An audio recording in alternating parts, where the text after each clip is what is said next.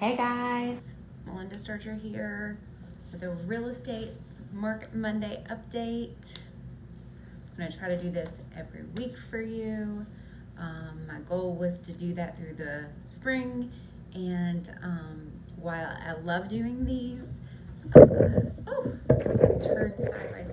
While I love doing these, as uh, my busyness picks up, I just sometimes have to eliminate something from my schedule and kind of got off track, but we are back. Cannot tell if anyone's on here or not, but my name is Melinda Starcher, and if you're seeing this, you are probably on my regular page. Moving forward, I'm going to move this over and start doing these on. Um, I'm going to start doing these on my regular, uh, on my business page. But for now, I'm gonna be doing these here and then eventually I'm gonna put everything over to my business page. So anyways, um, happy Monday, everybody. And I love uh, getting on here and getting live because you normally just see my little reels or a picture or whatever. So I like chatting with you guys. If you want to chat in the comments, you can. If you have questions, I don't know why, but I feel like my hair looks blue. Anyways, maybe it's gray. maybe I'm getting gray. Um, but if you want to hop on here and ask questions, more than welcome to ask questions about the market and I'll try to answer them. Hi Jim. Thanks for thanks for saying hi and jumping on here. Um, I should ask I should ask you questions, Jim, because you're in the um, what Eastern Kentucky market. Huntington, Eastern, no, Eastern Kentucky. Is that where you're at, Jim? Um, but anyways, I'm going to start talking about the market. Um, if you look at my story, I did share where the interest rates are. And instead of people waiting, don't keep waiting because those interest rates are going to continue to go up. So this is what's going to happen. I thought so. I thought so. I was paying attention. Um, and, you know, hop in and give me your opinion, but I, I think that you're going to support me on this, Jim. But what's going to happen is this this balance of buyers have more leeway, but you have more leeway, you're going to have a little bit more time to make an offer. Houses aren't going to be off the market as soon as they come on the market, but your interest rates are going to go up. Now, okay, first of all, I weed eated before you see this. That, anyways, if I pulled uh, weeds yesterday for a seller of mine, and I just choked. Um, I pulled weeds yesterday, so that's what I'm left with. Anyways, what, what you're gonna see is you're going to see that interest rates go up, or interest rates go up, and um, buyers do have a little bit more of an advantage, but as your interest rates go up, what you can afford is gonna come down. So don't forget that. Unless you are buying a house cash, you don't want to continue to wait. So I have lots of different things that I do for my sellers.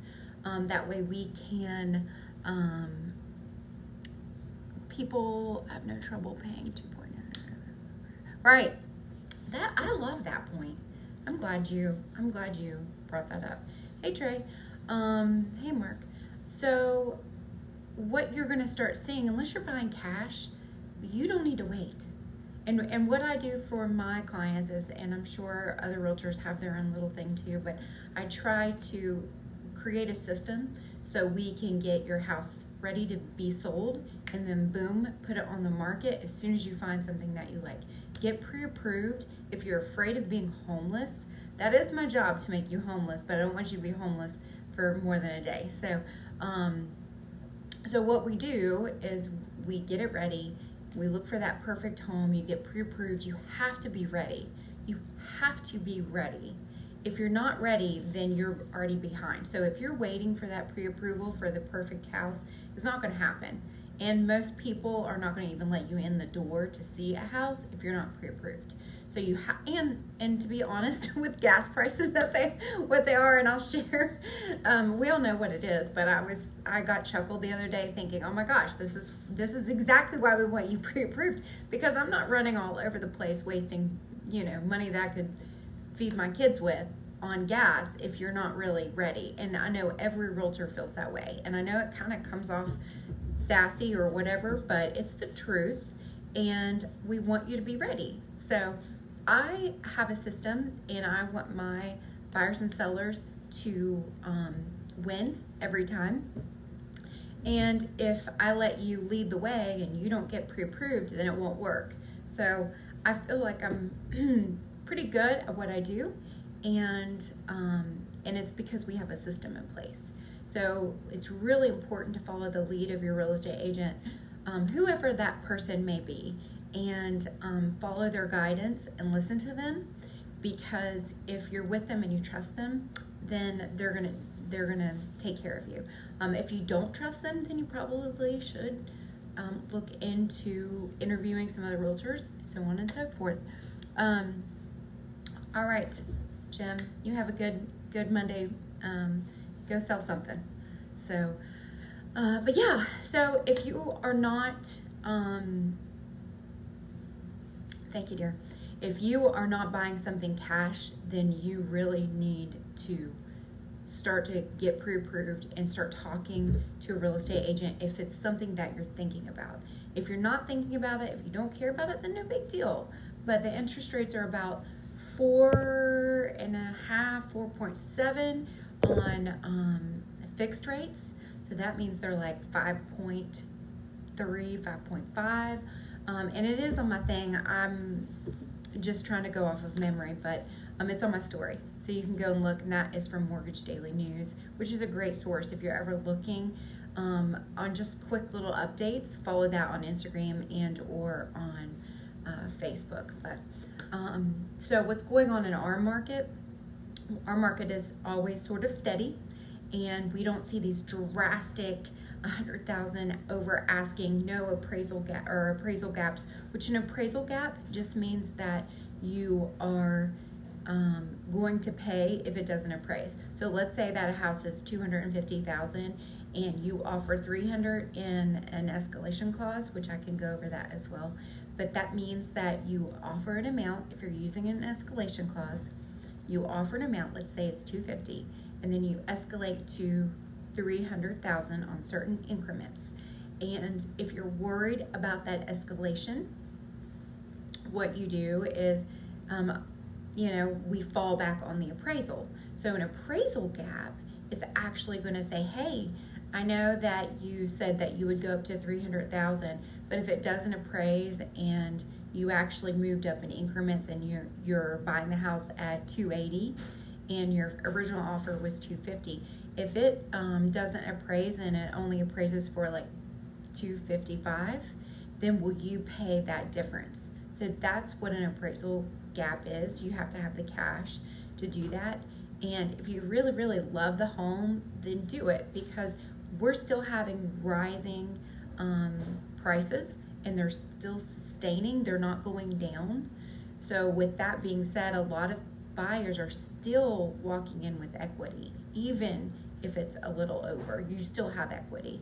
Um, so, that's something that I wanted to discuss I'm on my MLS, which I'm not really allowed to show you my MLS, but I'm on here looking at different houses and what's available and what's for sale.